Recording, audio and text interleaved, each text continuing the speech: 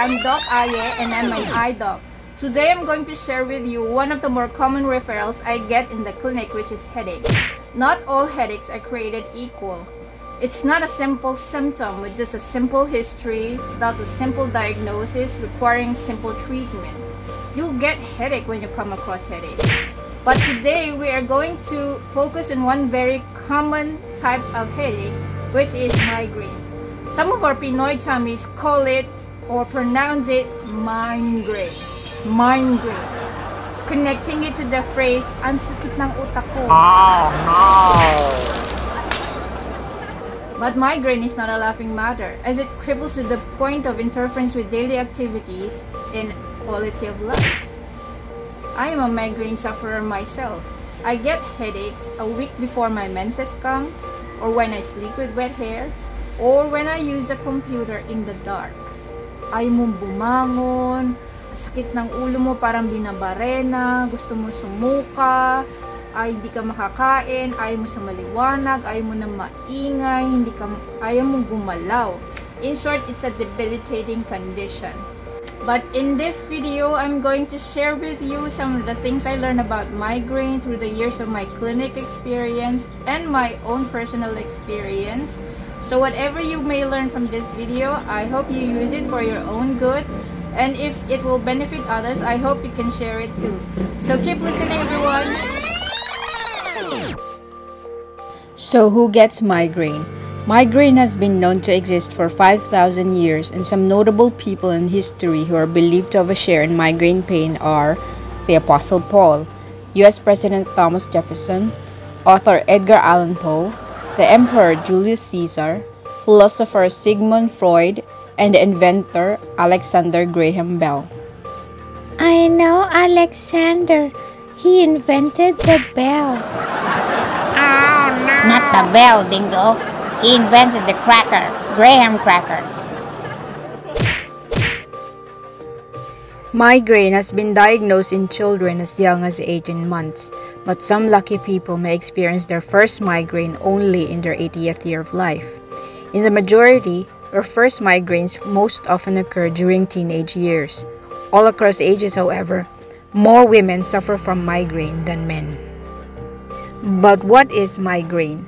The word migraine is French, but derived from the Latin word hemicrania, which means pain in half the head, which is a misnomer today because it is only true in 20% of cases.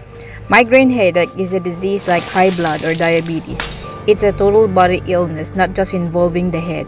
It has a lot of aliases and subtypes common headache, menstrual headache, menopausal headache, sex headache, classic migraine, facial migraine, silent migraine, or complicated migraine.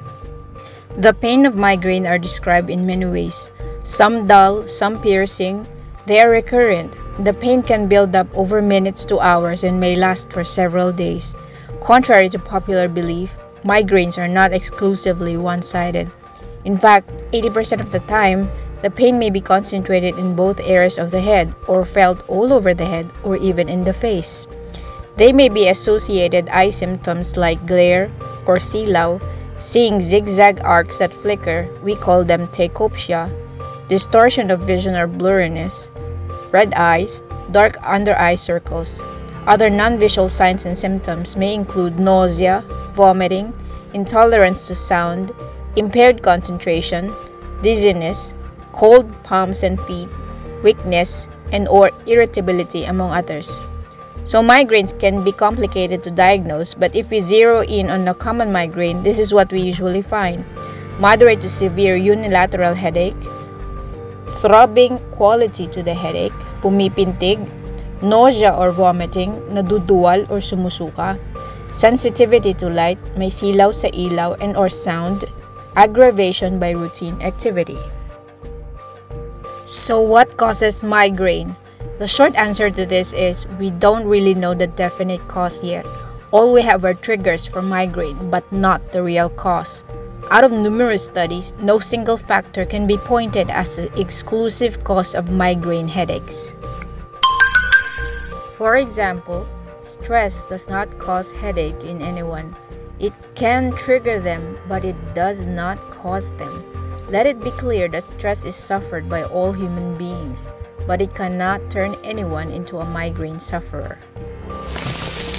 There have been theories on migraine being a blood clumping disorder, a blood vessel disorder, a brain disorder, or a neck disorder. A neck disorder? As I read more about it, the words seemed to jump out of the book for me, as I used to be a bad migraine sufferer myself. I have been noticing that a poor posture or prolonged neck bending work over my laptop leads me to feel soreness in my neck and shoulders, which later on translates to pain in my head. So, there is such a thing as a migraine pain center. Yes, a migraine pain center is an area somewhere between the head and the neck, where the neck nerves meet the brain nerves.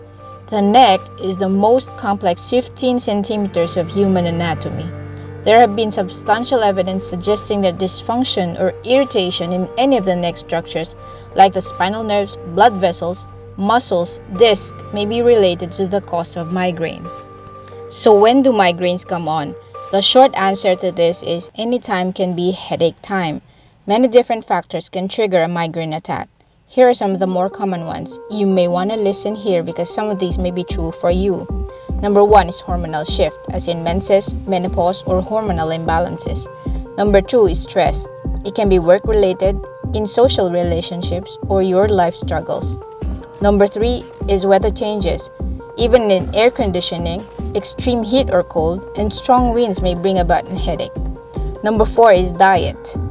It can be use of caffeine, MSG, vetsin, alcohol, smoking, milk and dairy, or even tyramine, which is found in cheeses.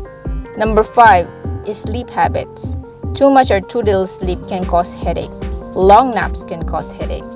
Number six is light, as in prolonged gadget screen time, or even using the fluorescent lighting or bright sunlight can trigger a migraine attack. Some uncommon ones may be worth mentioning, like strong fragrance or odor, a tight cup, a tight face shield or goggles, wrong posture as in a bent neck or hunchback, travel as in a long car ride, or sexual activity. There may be other triggers, but take note that the very first three we listed here, like weather or hormonal shift, cannot be avoided. They are out of our hands to control. However, if we look at the last three in our list of triggers, the way we eat, sleep, and work are within our ability to modify. The key is self observation.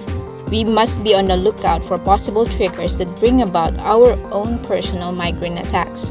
The more factors we are able to identify, the greater the possibility of elimination of that trigger, and the earlier we are able to put a lid on it. That brings us to our final section, which is how do we manage migraines? Migraine for most people is a lifelong disorder, but the good news is migraine can usually be well managed. It is best to learn from yourself, your doctor, and other migraine sufferers to avoid the things that can trigger your pain. So, self observation, awareness, and education will go a long way in keeping the attacks at bay. So, in general, there are two ways to approach the management of migraines. First is prevention, which is tantamount to lifestyle changes and avoidance of trigger. And second is alleviation of the pain, which includes home remedies and medical prescriptions. First arm prevention. Number 1 Dietary management. This includes regulation of eating schedules. It is best to eat and drink something warm for breakfast, like ginger tea with honey. In general, it should include lots of herbs and vegetables and fruits, and avoid processed foods that are loaded with neurotoxins. More on this in my next video, which discusses more about food triggers in detail. Number two is sleep management. Regular quality sleep is helpful for migraine sufferers. Try to sleep and wake at the same time of the day every day. Adults need about 7 hours of rest to recharge. In the afternoon, a 15 minute power nap will do wonders for your head. Meanwhile, if done in excess, like a 100 minute nap, this may be counterproductive and give you a throbbing headache when you wake up. Third one, stress management. Online work headache may come on triggered by stress, but there is an unsuspecting accomplice that may well be the main culprit fluorescent light. Fluorescent light flickers so fast that it's not detectable by the human eye. One way to avoid this covert trigger is to wear tinted or polarized glasses. Headache patients should try to minimize as many sources of stress as possible. Seek to come to terms with any areas of conflict in your personal life, your work, relational life, or spiritual life. It may be harder during these rough times when many have lost jobs, homes, or even loved ones, but it will surprise you how some people are handling stress better than others. As it said, life is 20% what happens to you and 80% how you react to it. Laugh at yourself. A jovial and sunny disposition is a powerful ally in bringing about the bodily chemical reactions that tone down your pain. This fourth one is very much related to the third improve general health and wellness. This includes practice breathing exercises and physical activity for at least 30 minutes three times a week. You may cut down on alcohol and smoking and change your diet and activity to reach your ideal weight. Organize and balance your life. This includes regularity in sleep, eating, praying, reading, time for relaxation, pampering, and all sorts of daily activities. Then again, the converse applies. All play and having no purpose in life leads to feelings of frustration, regret, and loneliness. Did you know that research has shown that religious commitment is associated with a healthier lifestyle and a healthier body? Studies have shown that people who do not attend church are four times more likely to commit suicide than people who do. Science has proven that social support, religious commitment, prayer, and relationship with God are beneficial to mental health. People who pray report positive emotions of peace, assurance, joy, hope. Spiritual well being is powerfully interconnected to one's physical well being. Prayer does wonders for an ailing body. Time and again, many have proven that the Lord's power and mercy are beyond comprehension. Now we go to the final arm, which is pain alleviation. Number one, home remedies. These are easy to carry out and may include simple techniques like muscle stretching exercises, especially in the neck area. Massage, hot packs, or even a cold shower may do wonders. These maneuvers all help with the inflammation and relieving the spasm or tightness, especially in the neck.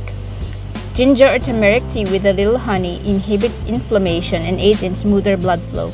Patients have reported that regular consumption of ginger and ginger teas eventually yield to lesser migraine attacks. Other herbal remedies include feverfew, blackcurrant seed oil, or evening primrose oil. You may also apply and massage ointments to the scalp. Helpful ones include those containing peppermint oil, menthol, eucalyptus, and ethanol. Next, rehabilitation therapy. Acupuncture, acupressure, traction techniques, ultrasound, and other physical therapy may also be beneficial, especially in people with nerve root irritations, muscle spasms, and tightness and other neck or spine conditions. The last one is use of medications. It has been shown that quick intervention with analgesic medicines improves your chances for relief like a leak in a dam. Each second you delay treatment is a second closer to the point of no return from your headache pain. Once the migraine gets worse, it becomes too late for the medicine to work. Popping a pill early enough increases your chances of aborting the attack altogether. So, it is prudent to have your analgesic meds with you wherever you go. All meds should be crushed and taken with a warm sweetened beverage like turmeric tea with honey for faster absorption and relief. Your anti-migraine armory may include aspirin, paracetamol, ibuprofen, mefenamic acid. Some vitamins like B complex, vitamin C, and E may be combined with analgesics for better and faster pain relief. However, in the long run, drugs that do work may lose their effectiveness after two or three months. Eventually, discontinuance of frequent intake of pain relievers is our primary long-term target. This goal, when achieved, may maximize the effects of preventative measures that we have mentioned. So thank you for listening, everyone. Hope you learned something.